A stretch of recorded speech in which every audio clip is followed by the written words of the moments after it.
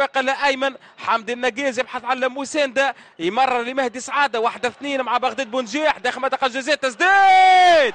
والهدف الثاني الهدف الثاني للنجم الرياضي الساحلي منذ كرة يسجل الهدف الثاني للنجم الساحلي. شوف الكرة التمرير كان من رامي البدوي بغداد بونجيح وزع مهد تمهيد كان ممتاز من بغداد بونجيح محاولة أولى للتصدي من زياد الجبالي تعود من زياد الكرة أمام